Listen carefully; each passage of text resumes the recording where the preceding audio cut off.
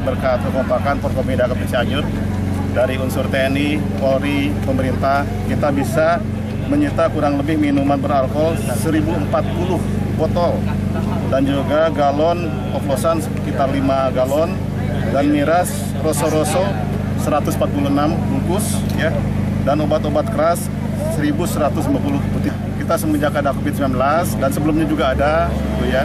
Alhamdulillah eh, kekompakan kita bersama ini bisa menghasilkan seperti ini. Dan ini sebetulnya lebih bahaya dari kepada Covid-19.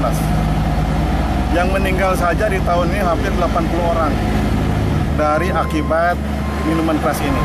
Sementara COVID itu bisa disembuhkan, tapi ini sulit disembuhkan. Sehingga kita Pertamina tetap kita akan lawan yang namanya minuman keras di Kabupaten Cianjur. Apalagi sekarang menghadapi bulan suci Ramadan ya, tolong warga masyarakat Cianjur, kami tidak akan diam. Terus-terus ini akan lakukan. Kami sayang terhadap warga Cianjur jangan sampai terjadi. Kita dengan corona yang begitu gencar, padahal ini lebih bahaya. Sekali lagi ya.